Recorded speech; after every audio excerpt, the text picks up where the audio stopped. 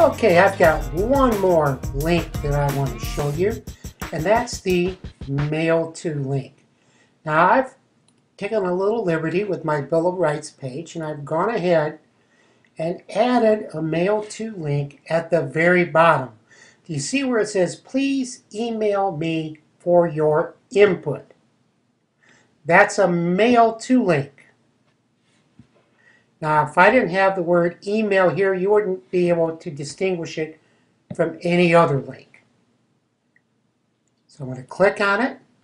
When I do that, it brings up my default email software. However your computer is configured, that's what it will bring up. Now notice that it's already addressed to me and that it has a subject of Bill of Rights. I don't really want to send that to myself. That'd be kind of silly. So I'm just going to quit.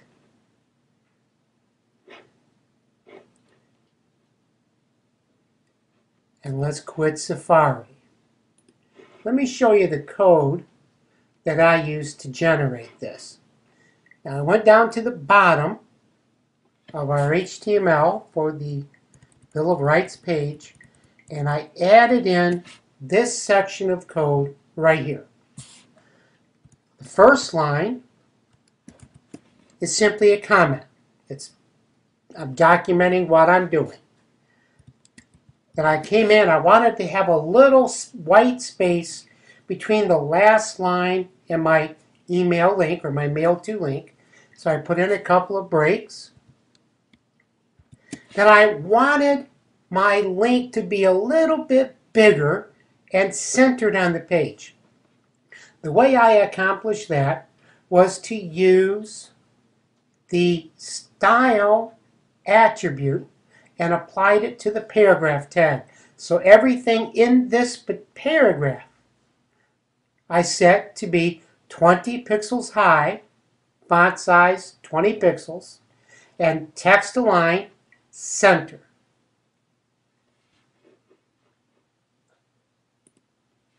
The next two lines are my mail to link, or the beginning of my mail to links, where I started out.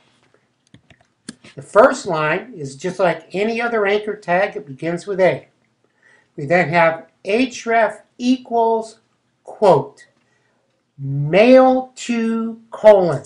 That tells your browser to expect an email address.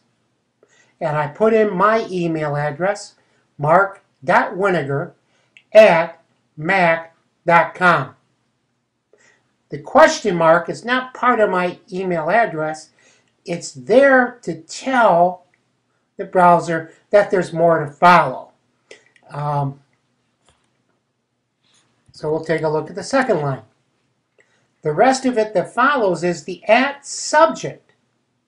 My subject heading for my email follows. That subject equals, and it's going to look a little funny to you, but that says Bill of Rights.